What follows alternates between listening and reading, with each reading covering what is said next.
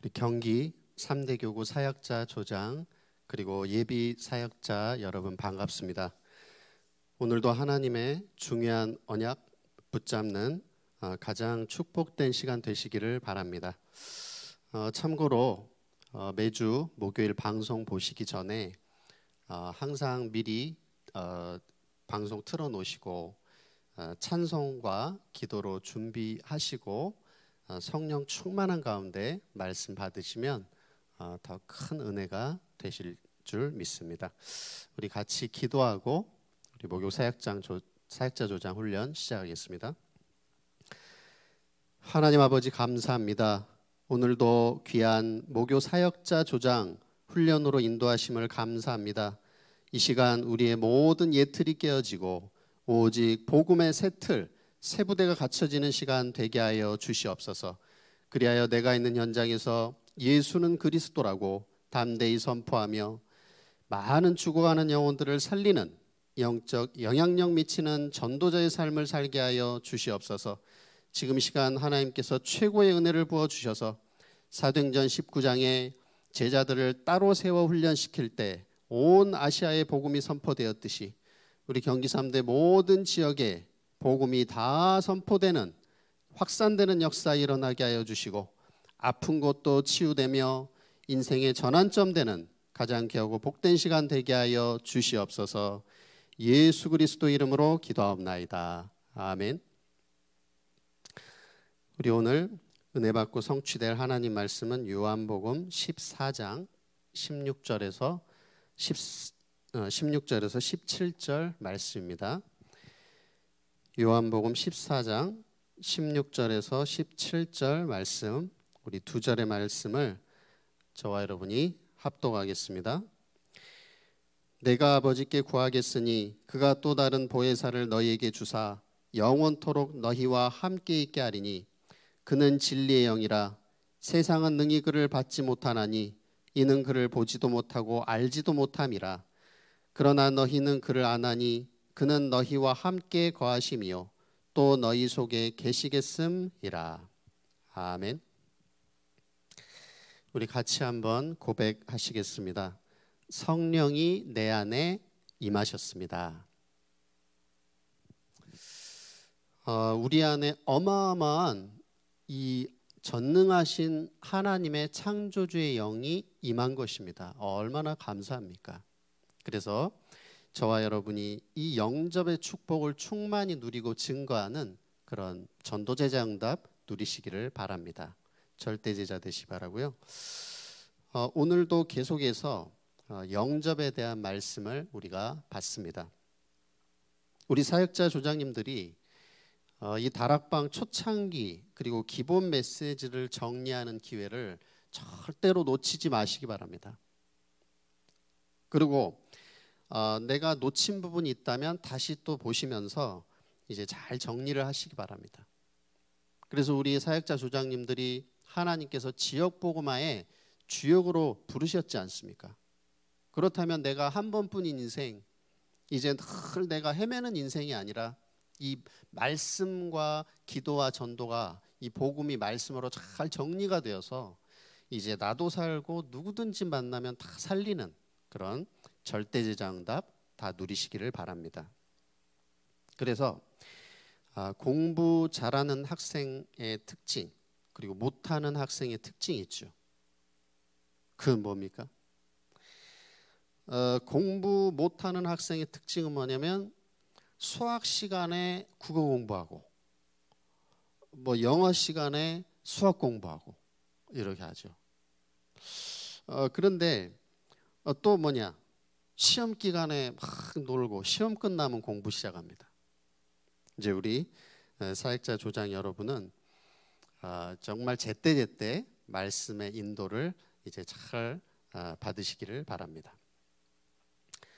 어, 그래서 제가 우리 어, 경기 3대 사역자 조장님들 여러분에게 맞게 어, 현장에 맞게 그리고 여러분에게 맞게 제가 기도하면서 소화해서 이것을 정리해 드리기 때문에 이것을 잘 받고 여러분 삶 속에 이제 잘 적용하시기 바랍니다.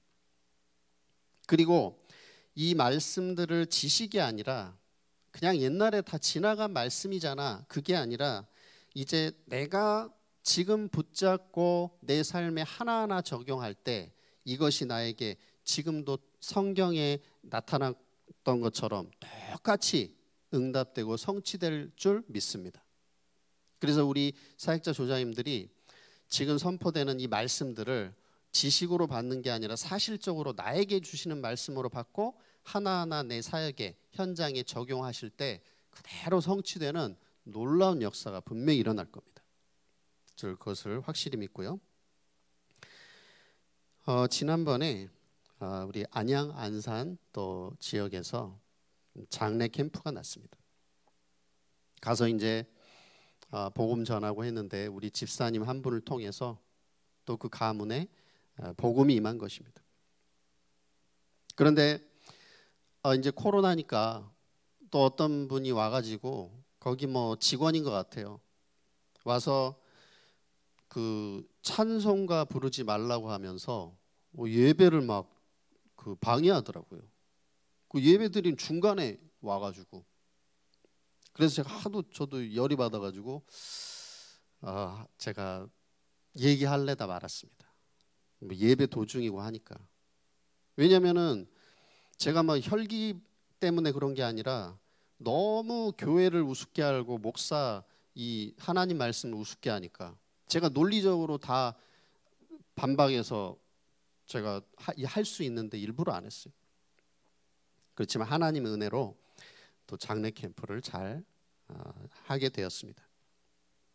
그런데 그때 어, 가족 몇 분이 이제 영접을 하셨는데 그 영접한 분들 이제 그 안양 안산 교구에서 다락방 들어가야 됩니다. 네. 그래서 여러분이 현장에서 영접을 하셨다. 그러면 그냥 놔두면 안 돼요. 바로 다락방 들어가야 됩니다. 그것이 바로 오늘 말씀입니다. 어, 그리고 우리 어, 경기 3대 교구에서 어, 40일 집중 훈련이 진행 중에 있습니다. 아, 참 감사하게도 어, 저는 몇 분이나 과연 신청하고 참여하실까 했는데 63분의 어, 우리 또 성도님들이 참여하셨습니다. 이 훈련은 어, 올 연초부터 우리가 기도하면서 준비해 왔던 그런 집중 훈련이고요. 저는 해년마다 이 집중 훈련을 계속 해왔습니다. 그래서 너무나 감사하고 이제 이번에 이 40일 집중 훈련을 위해서 훈련 받는 분들 위해서 또 기도해 주시기 바랍니다. 그리고 이번에 참여 못 하셨다면 다음 기회에 또 다 같이 참여하시는 그런 응답 누리시면 좋겠습니다. 그런데 이번에 40일 집중 훈련을 이제 우리가 임하는데 또 너무 놀랍고 감사한 것은 강단에서 말씀이 너무 정확하게 또 선포되는 것입니다.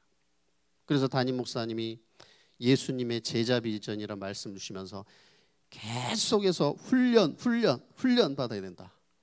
계속 말씀하시고 그 다음 주에는 또 어, 뭡니까 그리스도 절대 제자 또 다 훈련을 그렇게 어, 강조를 하셔서 이게 강단과 우리 어, 현장 사역이 너무나도 맞아 떨어지는구나 이런 것을 또 보면서 좀 너무나 감사했습니다.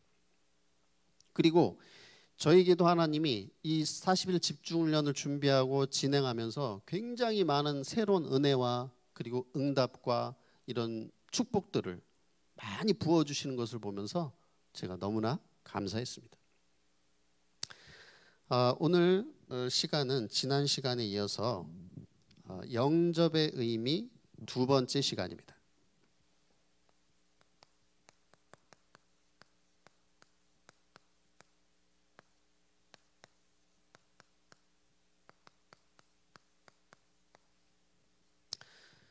어, 영접의 의미 두 번째 지난 시간에 우리가 영접의 의미가 총 12가지로 지금 정리되어 있는데 첫 번째에서 여섯 번째까지를 봤습니다. 먼저 영접의 의미가 뭡니까? 이 성령께서 영원히 내 안에 내주하신 것입니다. 네. 그래서 요한복음 14장 16절에 보니까요. 또 다른 보혜사를 너희에게 주사 영원토록 너희와 함께 있게 하겠다 그랬습니다. 그리고 이 영접이 뭐라고 했죠? 이제는 창조의 능력이 회복된 것입니다. 하나님의 형상, 하나님과 함께함 이것이 회복된 거고요. 그 다음에 생명이 회복된 것입니다. 그래서 요한복음 1장 9절에 보니까 참 빛 대신 그리스도가 내 안에 임한 것입니다. 이 영접의 축복 여러분 받으신 것을 축하드립니다. 그리고 영접이 어떤 의미였습니까? 이제 내가 하나님 앞에 예수 이름으로 기도 응답 받을 수 있는 모든 조건이 다 성취된 것입니다. 그래서 이제 죄의 싹은 사망인데 죽어야 되는데 예수님이 내 대신에 우리 대신에 십자가에 피 흘려 죽으시고 부활하심으로 창세기 3장 15절 여자의 후손이 뱀의 머리를 깨뜨릴 것이다. 이 언약을 성취하셨기 때문에 우리가 예수 이름으로 담대히 하나님 앞에 기도 응답 받을 수 있는 이 축복이 회복되는 것이 영접입니다. 그 다음에 영접이 뭐였습니까? 이제 예수 영접하는 순간 빛 대신 그리스도가 내 안에 임하는 순간 흑암 이 사단과는 영원한 결별 네, 완전히 끝난 거예요. 그래서 베드로전서 5장 7절 8절에 보니까 근신하라 깨어라 너희 대적 마귀 이제는 그 마귀를 대적하고 이제는 예수 이름으로 쫓아낼 수 있는 이런 신분이 된 것입니다. 그러면서 이 다섯 번째 무엇입니까? 이제 확실한 하나님 자녀가 된 고백입니다. 그래서 영접하는 자 곧 그 이름을 믿는 자들에게는 하나님의 자녀가 되는 권세를 주셨으니 그리고 영접이 뭐였습니까? 창세기 3장 이제 하나님 떠나 죄 가운데 사단에게 빠졌던 창세기 3장 문제에서 영원히 해방되는 거.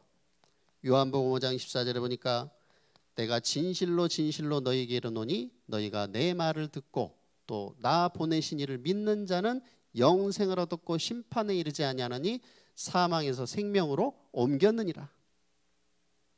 그래서 이제 죄 흑암 저주에서 영원히 해방받은 거 이것이 영접입니다. 모든 사역자 주장님들이 이 영접의 축복을 날마다 풍성히 누리고 증거하는 전도자 되시기 바랍니다. 이게 전 시간에 봤던 거고요. 자, 그럼 오늘은 나머지 7번부터 보겠습니다. 이 영접이라는 것은 하나님의 눈으로 볼 때 어떤 것이냐? 이제 영접하는 자 안에 하나님의 생명이 들어가는 것입니다. 그리고 이제 영접한 하나님 자녀는 내 힘으로 내 마음대로 살다가 넘어지고 실패하고 그런 인생이 방황하는 인생이 아니고 하나님의 언약이 주어지는 것입니다. 그래서 하나님의 생명, 하나님의 생명이 내가 영접한 순간 나와 탁 체결된 것입니다. 그래서 축복의 이 언약 관계. 그래서 영접하는 순간 여러분이 영원한 언약의 백성 되신 것 축하드립니다. 그리고 이걸 현장에서 말해줘야 됩니다. 그 다음에 이제 하나님 보실 때 영접이라는 것은 하나님의 최고 관심이 성취된 것입니다. 베드로전서 1장 9절에 보니까 믿음의 결국 곧 영혼 구원을 받음이라. 영혼 구원. 영접하는 순간 그리고 디모데전서 2장 4절에 보니까 하나님은 모든 사람이 구원을 받으며 진리를 아는 데 이르기를 원하시느니라. 그렇죠. 진리 되신 그리스도. 이것이 영접입니다. 그 다음에 영접은 무엇입니까? 이 사단이 두려워하는 것입니다. 첫 번째로 누가복음 10장 19절에 보니까 내가 너희에게 뱀과 전갈을 밟으며 원수의 모든 능력을 제어할 권능을 주었으니 너희를 해할 자가 결단코 없으리라. 영접하는 자는 이제는 사단을 꺾을 수 있는 권능을 주셨다. 네. 너희를 해할 자가 결단코 없으리라. 이 권능을 누리고 현장에서 빨리 말해주시기 바랍니다. 네. 다 지금 눌려서 다 고통당하고 있잖아요. 당신 문제, 사단 문제다, 귀신 문제다. 예수 영접하면 끝난다. 빨리 말해 주셔야 돼요. 그 다음 뭡니까? 마태복음 12장 28절에서 29절에 보니까 하나님의 성령을 힘입어 귀신을 쫓아내는 것이면 하나님의 나라가 이미 너희에게 임하였느니라. 그리고 먼저 강한 자를 결박한 후에 그 집을 강탈할 수 있다. 이제 영접한 자는 이 강한 자 마귀를 결박할 수 있는 그런 권세가 임한 것입니다. 그래서 이제 어, 여러분의 가정 그리고 지역, 직장 이 현장에 이제 흑암부터 꺾으시기 바랍니다. 강한 자, 강한 자를 결박할 수 있는 권능이 임했단 말이에요. 그래서 나와 우리 가정과 지역과 직장에 역사하는 모든 흑암 세력은 예수 이름으로 결박을 받을지어다. 계속 선포하고 사용하고 기도하시기 바랍니다. 이게 영접의 축복이다. 그러면서 요한복음 10장 28, 29절에 보니까요. 내가 그들에게 영생을 주노니 영원히 멸망하지 아니할 것이요 또 그들을 내 손에서 뺏을 자가 없느니라. 이제 전능하신 창조주 하나님의 손에 붙잡혔는데 그 어떤 사가, 사단막이 아니라 그 더한 것도 우리를 뺏을 수 없는 것입니다. 영접한 자를 건드릴 수 없는 거죠. 그리고 히브리서 1장 14절에 보면 모든 천사들을 섬기는 영으로 주셨다. 그래서 여러분이 이제 마음껏 하나님 자녀의 신분 권세 이것을 누리고 사용하시기 바랍니다. 이제 하나님께서 하늘 문을 여셔서 하늘 군대를 우리 지역에 보내 주시옵소서. 우리 직장 현장에 주의 청원 천사 보내 주시옵소서. 그런데 여러분이 좀 주의하실 것은 아, 이거를 여러분이 잘못 그 적용하시면 안 됩니다. 어떤 분은 저는 우리 우리 대교구에서 못 봤는데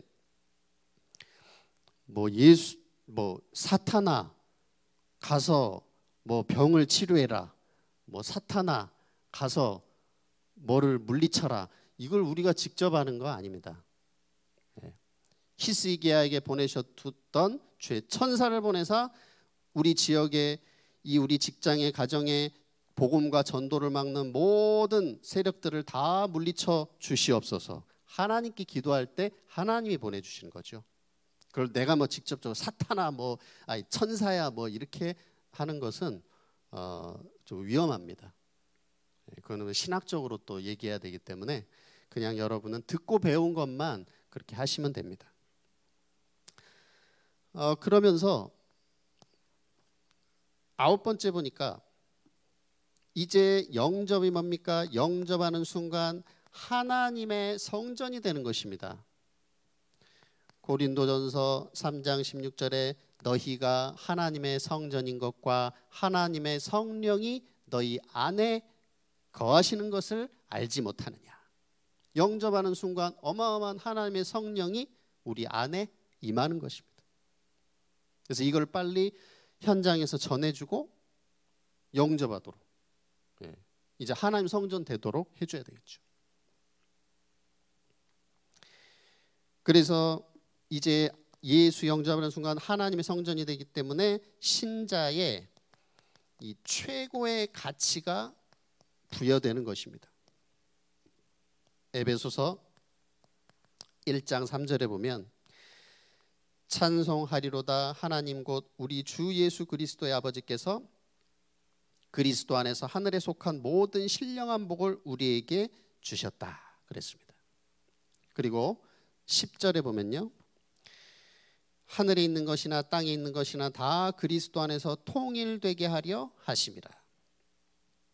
이제 예수 영접하는 순간 하늘과 땅의 모든 신령한 복을 가진 하나님이 성령으로 내 안에 함께 하시는 것이고 만물이 복종하는 그 이름, 만물을 통일하게 하시는 그 예수 그리스도의 영이 내 안에 임하는 것입니다. 얼마나 놀라운 일입니까? 이 축복 누리시기 바라고요. 그래서 하나님이 나를 성전 삼고 나와 함께 하신다. 너무 감사하죠. 그래서 우리 사역자 조자님들 내가 성전이기 때문에 성전 관리를 잘 하시기 바랍니다. 그래서 내가 운동도 하고 또 어, 음식도 좀 잘 조절하고 이렇게 하셔야 됩니다. 우리 한번 옆에 혹시 누구 있으면 옆에 분과 한번 고백하시겠습니다. 성전 관리를 잘합시다. 네. 너무 막, 막 밤에 너무 야식 먹고 막, 예? 막 폭식하고 오지 마시고 좀 운동도 하고 음식도 잘 조절하고 세계복음 할 수, 지역복음 세계복음 할 수 있도록 성전 관리를 잘 하시기 바랍니다. 그러면서 이제 열 번째가 뭡니까? 성삼위 하나님. 성삼위 하나님의 비밀이 성취되는 것이 영접입니다. 에베소서 1장 13절에서 14절에 보니까 진리의 말씀 곧 구원의 복음을 듣고 믿어 약속의 성령으로 인치심을 받았다. 네. 그리고 속량하시고 그의 영광을 찬송하게 하려 하신다. 그래서 하나님께서 우리를 속량하시고 우리를 이제는 통하여 영광 받으시고 찬송 받게 하시기 위하여 하나님께서는 성부 하나님이 지금도 우리의 기도에 응답하시고 말씀을 성취하시고 성자 예수님을 보내셔서 십자가에서 구원 사역을 완성하시고 그리고 보혜사 성령이 우리와 함께하는 것입니다. 왜 삼위일체로 이렇게 활동하고 역사하시냐? 바로 나를 구원하기 위해서. 이것이 성삼위 하나님의 비밀입니다. 얼마나 놀랍습니까? 나 같은 죄인을 구원하기 위해서 하나님께서 성삼위 하나님으로 역사하시는구나. 또 여러분 통해서 사역자 조님들 통해서 수많은 죽어가는 지역의 영혼들 살리기 위해서 성삼위 하나님으로 여러분의 지역과 직장 현장에서 역사하시는 것을 믿으시기 바랍니다. 그걸 이제 확인하셔야 돼요. 확인하시게 될 겁니다. 그리고 이제 열한 번째로 이 영접이 뭐냐? 영접하는 순간 성령으로 인치심을 받는 겁니다. 쉽게 말하면 영원한 성령의 도장을 딱 이제 찍으시는 거예요. 너는 하나님 자녀다. 딱. 그래서 에베소서 1장 13절에 보니까요. 진리의 말씀 곧 구원의 복음을 듣고 믿어 약속의 성령으로 인치심을 받았다. 그리고 에베소서 4장 30절에 보니까 하나님의 성령을 근심하지 하게 말라 그 안에 너희가 구원의 날까지 인치심을 받았느니라. 네. 시편 48편 14절에 보니까요.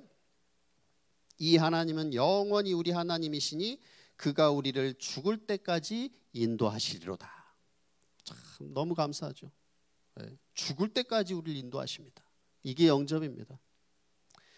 그 다음에 요한복음 14장 16절에서 17절에 보니까 또 다른 보혜사를 너희에게 주셨고 영원토록 우리와 함께 하신다고 약속하셨습니다. 그리고 그는 진리의 영이고 세상은 능히 그를 받지도 못하고 보지도 알지도 못하지만 너희는 그를 아나니 그는 너희와 함께 거하시며 또 너희 속에 계시겠습니다.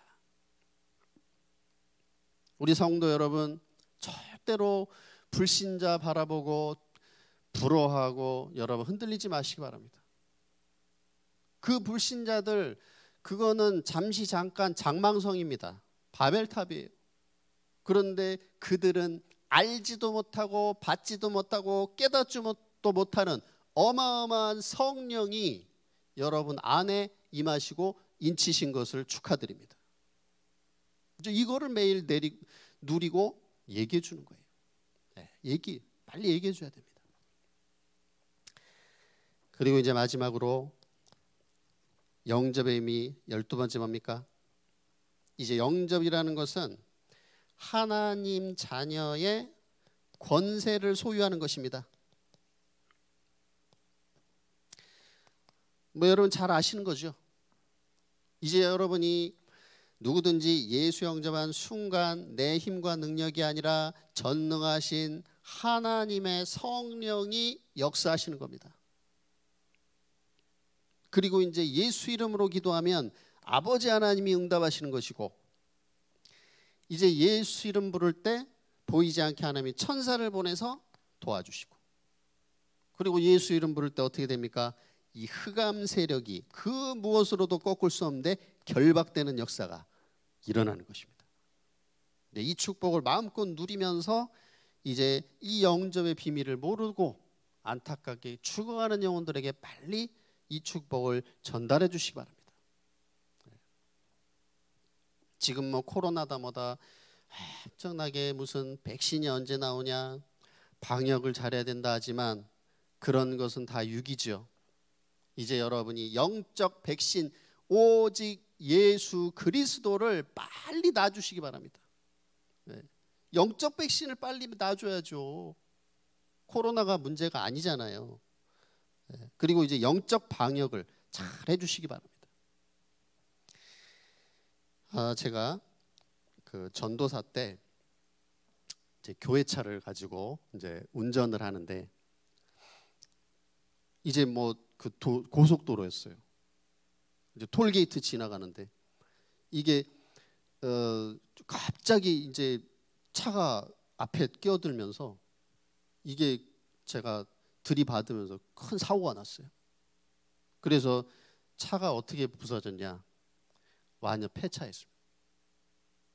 차가 폐차했는데 저는 머리끝부터 발끝까지 다친 곳이 하나도 없이 여기 뭐 무릎 살짝 가였어요. 그냥 빨간 약도 안 발랐어요. 저는 약도 안 발랐어요. 그래서 하나님께서는 분명히 천군 천사로 이제 성령으로 함께 하시고 역사하시고 인도하시는 것을 믿으시기 바랍니다. 그리고 이 축복을 빨리 전달해 주시기를 바랍니다. 어, 그 다음에 아, 다락방 다섯 가지 메시지입니다.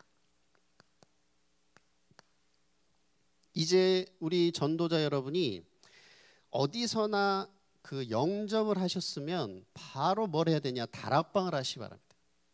네, 다락방을 안 하면 안 됩니다. 그래서 아, 먼저 첫째로는 그 우리 사역자 조장님들이 제가 지난 시간 또 지지난 시간에 이렇게 해드렸던 그 영접 메시지, 그 구원의 길을 날마다 나의 것으로 행복하게 누리시기 바랍니다. 그래서 매일 조용한 나만의 시간에 혼자서 찬송해 보고 그리고 한번 또 써보고 또 느낀 점도 적어보고 이렇게 매일 해보시기 바랍니다. 그러면 그 어, 영전 메시지 구원의 길이 나에게 각인 뿌리 체질되고 행복으로 누려지도록 그러면 저절로 이게 전달되죠. 그리고 하나님이 전도의 문을 여시고 영혼을 붙여주시게 돼 있습니다. 그런 축복 속으로 여러분이 들어가시기 바랍니다. 그래서 어, 그리고 이제 제가 어, 지난주에 좀 강하게 말씀드린 것은 뭐 아무나 붙잡고 억지로 영접해라 그 말이 아니라 하나님께서 분명히 어, 문 다 열어 놓으셨는데 쉽게 말하면 어, 밥상 다 차려놨는데 그 상대방도 마음문 다 열려 있는데도 내가 말 안 하고 있을 때 그걸 말하는 거예요. 네. 의외로 많거든요. 옆에서 보면 지금 마음문 다 열렸어. 근데 내가 말을 못 하고 있어. 이런 경우가 너무 많습니다. 제가 그런 경우를 두고 말씀드린 거니까 혹시 오해가 없으시기 바랍니다. 그래서 여러분이 내가 5분 이상 기회가 되, 됐을 때 복음 전하는 거예요. 예. 억지로 전하는 게 아니라 그때는 간단하게 빨리 찔러보는 겁니다. 그래서 이제 제일 쉬운 게 뭡니까? 아우, 수고하시네요. 많이 힘드시죠? 이러면 거의 다 마음은 열어요. 다 힘드니까. 그리고 이제 그 칭찬 좀 해주고, 아유 잘하시네요. 힘드시죠? 그러면서 혹시 신앙생활 하십니까? 이렇게 해보세요. 속으로 흑안 꺾고 기도하면서 어떻게 반응이 오나. 그래서 여러분이 그 신앙생활 하십니까? 여러분이 보세요. 교회 교회 다녀 보셨어요? 이러면 욕하는 사람도 있어요. 교회 욕을 막 해. 그런데 내가 속으로 흑안 꺾으면서 그, 그 영을 놓고 정말 기도하면서 이제 마음문 열면서 혹시 신앙생활 해보셨나요? 했을 때 욕하는 사람은 없습니다. 교회 얘기 이런 거 하면 안 돼요. 근데 신앙생활 하셨습니까? 하면 할 수가 있어요. 해보세요. 해보시기 바랍니다. 그래서 어, 이제 복음 전에 보시기 바라고요. 그러면서 영접을 하셨으면은 거기서 멈추지 마시고 반드시 이 다락방을 권면하시기 바랍니다. 그래서 다락방을 소개하시면서 어, 내가 이 복음을 이제 만나서 제가 일주일에 한 번씩 만나서 좀 이렇게 전해드리고 싶은데 괜찮으십니까? 이 하나님의 말씀이라는 것을 들으면서 믿음이 성장하는데 제가 복음을 더 알려드리고 기도응답 받을 수 있도록 제가 일주일에 한 번씩 뭐 10분이든 15분이든 이렇게 저랑 한번 다락방 하시지 않겠습니까? 만나시지 않겠습니까? 이렇게 다락방을 권면하고 소개해야 됩니다. 그런데 많은 분들이 어, 어떤 경향이 있냐면 다락 영접은 했는데 다락방에 대한 권면에 대한 두려움이 있어요. 아우 어떻게 하다 영접했네. 근데 아이고 영접도 갠신이 한 것 같은데 거기서 다락방 하자는 말까지 또 하기가 좀 이게 걸릴 수 있단 말이에요. 뭐 거부하면 어떡하지? 사단의 그것도 속임수입니다. 그래서 그런 부분에 두려워하지 마시고 영접했으면 간단하게 짧게 다락방에 대해서 소개하고 연결하시기 바랍니다. 그러면 예비된 자면 다락방을 하게 될 것이고 아유 바빠서 못 하겠다 그러면 그냥 많은 거예요. 그래서 어, 다락방을 이제 못 하겠다 그러면 지난번에 말씀드린 대로 내가 기도문 적어주고 그 다음에 전도자를 주고 그러면서 얘기하면 됩니다. 언제든지 당신이 인생에 어려움이 오거나 또는 복음에 대해서 알고 싶거나 할 때 언제든지 연락 주세요. 이렇게 하면 돼요. 그리고 내가 어, 영접에서 다락방을 권면했는데 이 사람이 싫다. 근데 이 사람 내가 자주 보는 사람이에요. 그러면 내가 지속적으로 기도하면서 또 나중에 시간표 되면 이 사람이 또 나중에 다락방 할 수도 있는 겁니다. 그러니까 중요한 요점은 뭐냐면 영접을 하셨으면 다락방에 대해서 반드시 소개하고 안내하고 권면을 꼭 하시라는 거. 그러면 불신자가 만약에 여러분이 10명을 불신자 영접을 했다. 그러면 그 중에서 한 한 명 정도가 내가 다락방 나 받고 싶어요. 이렇게 나올 수 있습니다. 더 많이 나올 수도 있고. 예. 그런데 어, 중요한 것은 그 다음에 뭐냐? 다락방의 목적입니다. 다락방의 목적을 잘 아셔야 돼요. 다락방의 목적은 뭐냐면은 이 영접한 사람을 빨리 제자화 시키는 겁니다. 그래서 어, 내가 이 사람하고 지금 한 시간밖에 시간이 없다. 그러면 한 시간 안에 뭐 몇 시간 있다. 몇 시간 안에 아니면 뭐 한 달 안에 몇 달 안에 뭐 1년 안에 이렇게 어, 허락된 시간, 가용한 시간 속에서 그 사람을 빨리 제자화 시키는 것이 다락방입니다. 그럼 내가 직장을 다닌다. 내가 이 지점에서 1년 근무한다. 그러면 영접한 사람을 1년 동안 다락방을 해서 제자화 시키고 내가 가는 거예요. 이렇게.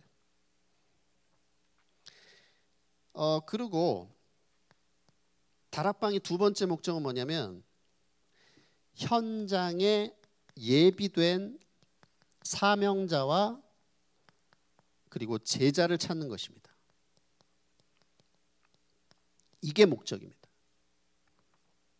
그렇기 때문에 어, 이게 무슨 말이냐?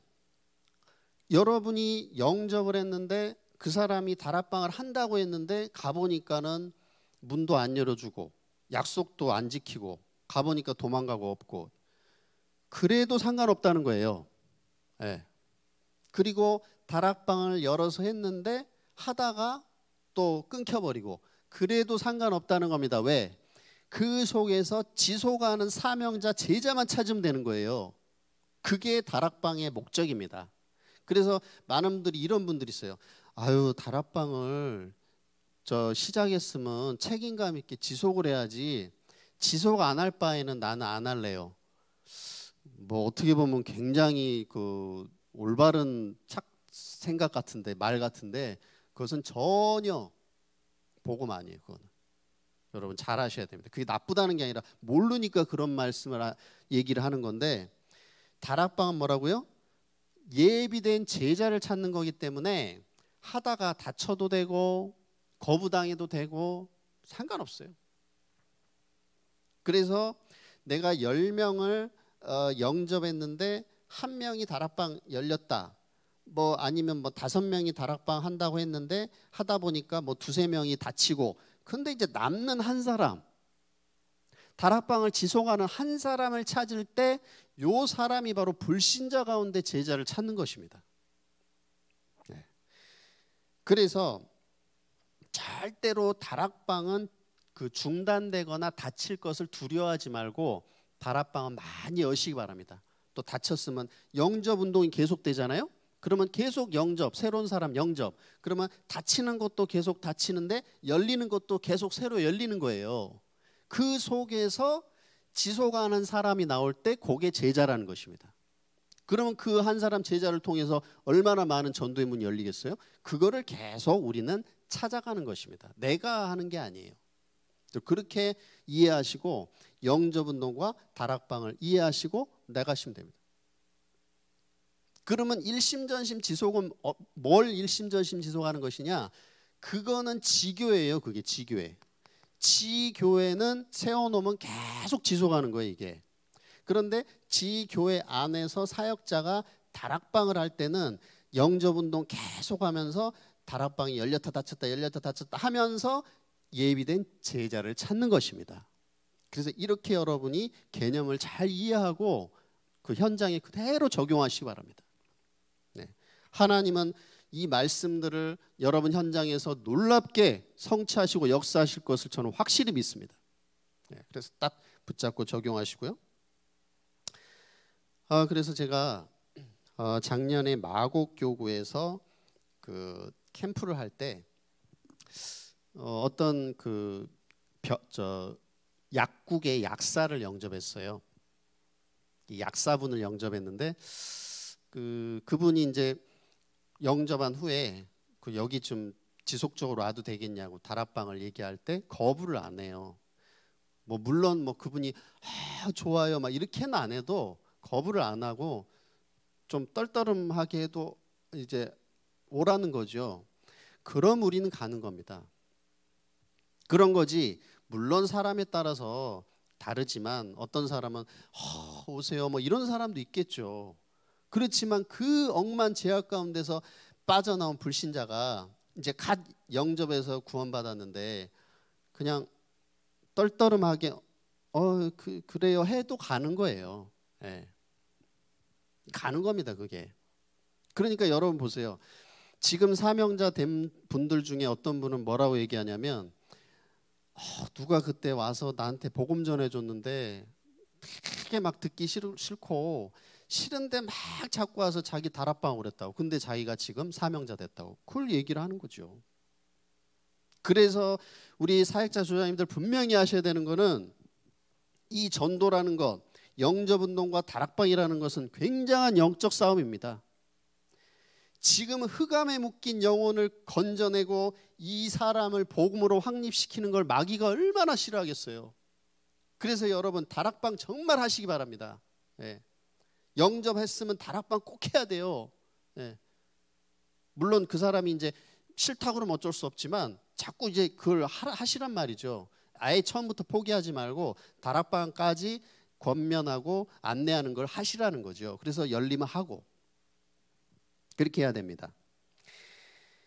어, 그러면 우리 이제 다락방에 대해서 간단하게 정리하고 마무리하도록 하겠습니다. 첫 번째로 내가 이 사람을 영접해서 다락방이 열렸다 그러면 다락방을 통해서 다섯 가지 메시지를 주시면 됩니다. 예, 첫 번째 뭐냐? 이미 구원을 받았지만 그래도 다시 한번 왜 구원을 받아야 되는가를 얘기해 줍니다. 그게 뭐냐? 인생의 근본 문제 세 가지. 당신이 하나님 떠나 죄 가운데 빠져 사단에게 잡혀서 인생이 안 될 수밖에 없지 않았냐? 그리고 열두 가지 문제에 빠져서 이제 죽을 수밖에 없는데 에, 그래서 우리는 예수 믿고 구원받아야 된다. 그러면 어떻게 구원받냐? 두 번째가 이제 영접. 영접하면 된다. 그래서 로마서 10장 9절 10절에 마음으로 믿어 의에 이르고 입으로 시인하여 구원에 이르느니라. 그러면 어, 구원을 받으면 어떻게 해야 되느냐? 이 말은 어, 구원받은 상태를 말하는 것입니다.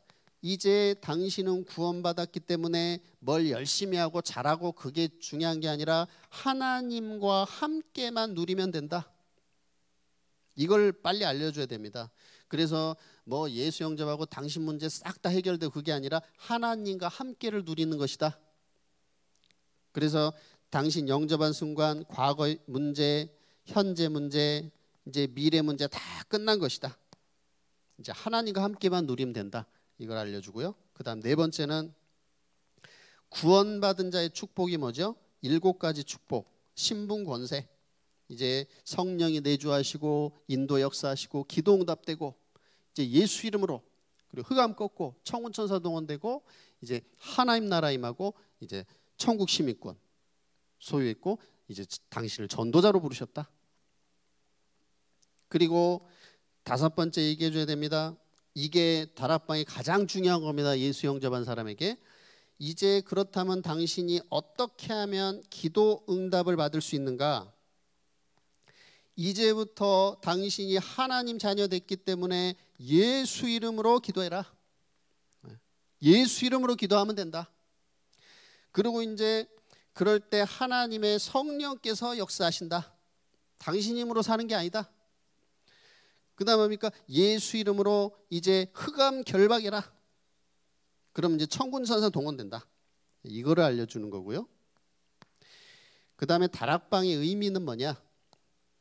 첫 번째로 이제 그 사람에 있는 현장에서 하나님의 말씀이 성취되는 것을 확인하는 것입니다. 아, 말씀이 성취되는구나. 말씀 운동. 그 다음 다락방이 뭡니까? 부활하신 주님을 입증하는 것입니다. 아, 부활하신 그리스도께서 정말 나와 함께 하시는구나. 이 다락방 말씀 운동하고 같이 문제 놓고 기도하면서 이게 체험되는 거예요. 확인되는 거란 말이에요. 그러면서 다락방 하면서 예수 이름으로 기도했더니 야, 사단이 꺾이는구나. 사단 결박을 확인하는 것입니다. 그다음 다락방이 뭐냐? 이제 내 사업과 생업이 하나님의 인도를 받는 것입니다.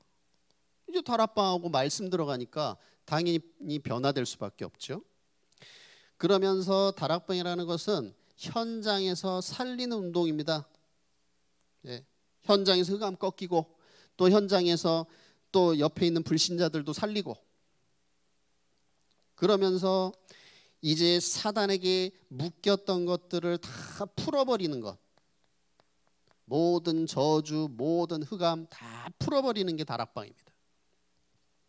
그리고 일곱 번째로 현장의 모든 문제를 해결하는 것이 다락방이다. 빛이 비추면 어둠이 다 물러가니까 다 이제 회복되는 거죠. 그리고 다락방이라는 것은 이제 그 현장에서 불신자를 치유하는 것입니다. 그래서 예수 영접, 불신자 데려와라. 또는 같이 만나러 가자. 그렇게 해서 예수 영접 시켜주고 영적 치유. 그리고 말씀 계속 주면서 정신 치유 그리고 뭐죠? 육신 치유까지.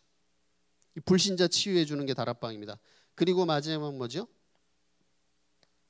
당신이 어떻게 하면 참된 기도 응답을 받을 수 있냐?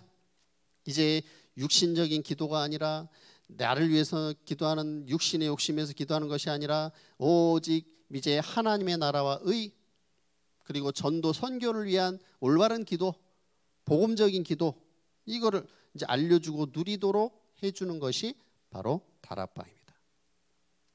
그래서 결론은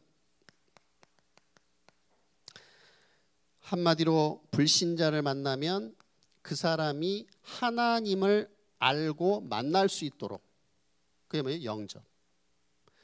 영접을 했으면 가만히 놔두지 말고 그 사람이 하나님의 축복을 만, 누릴 수 있도록 도와주란 말이에요. 그게 다락방입니다. 그래서 이제 우리 경기 3대 모든 우리 사역자 조장님들은 이제 영접과 다락방의 전문가 그리고 어, 모델 되시기를 바랍니다. 우리 옆에 분 축복하실 때 영접과 다락방의 모델 됩시다. 혼자 하시고 없으면 혼자 하시고요. 자 이제 결론 결론입니다.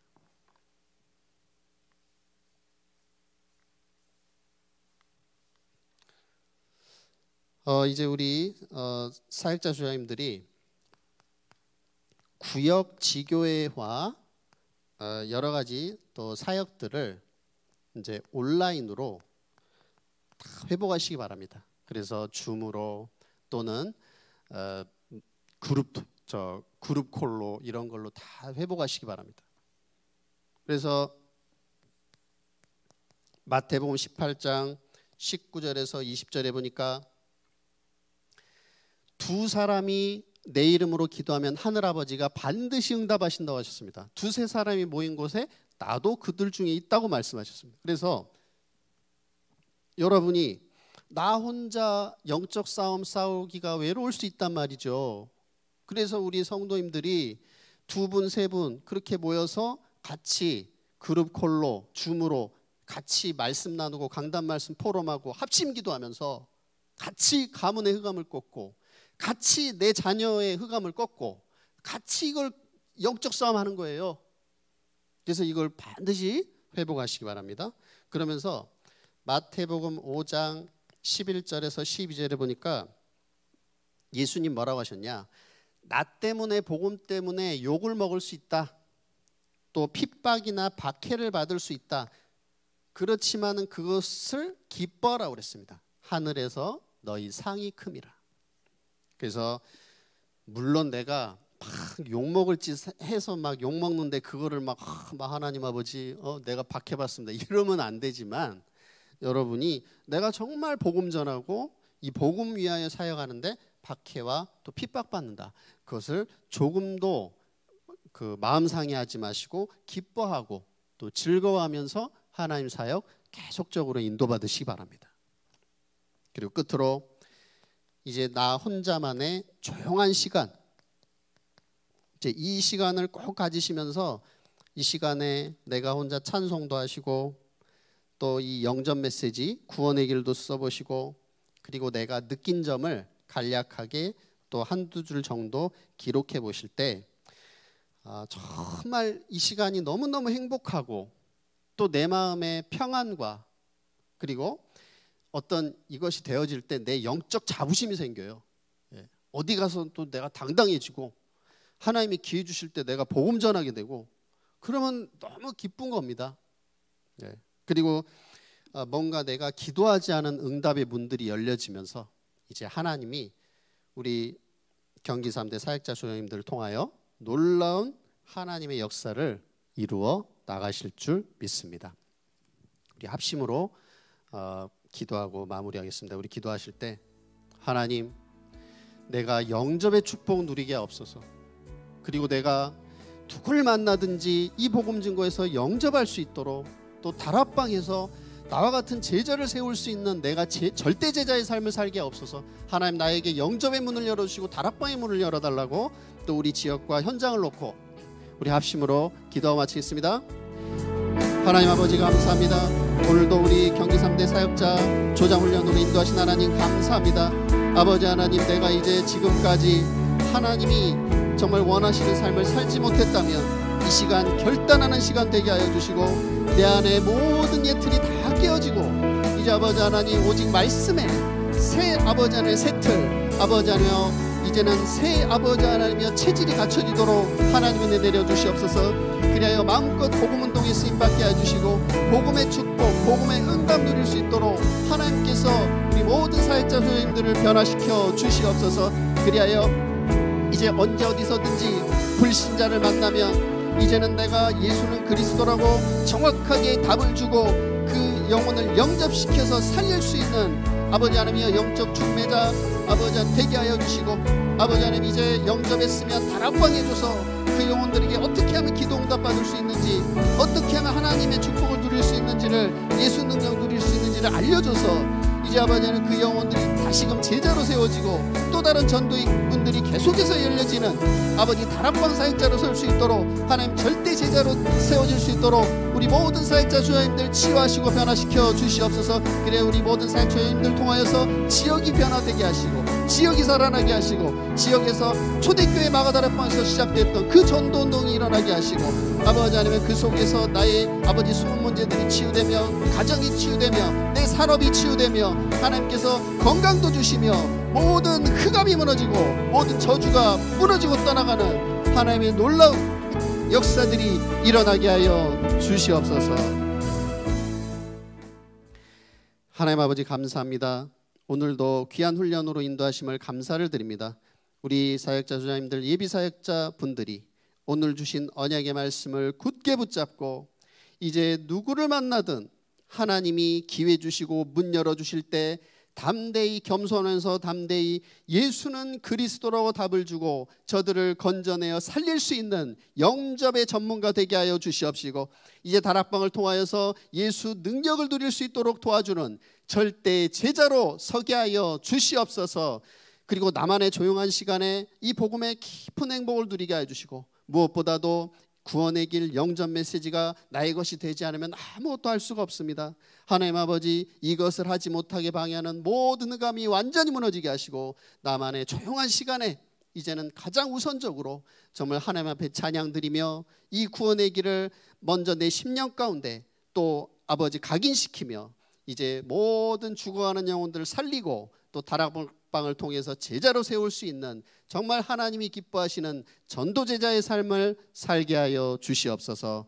감사를 드리며 예수 그리스도 이름으로 기도하옵나이다. 아멘.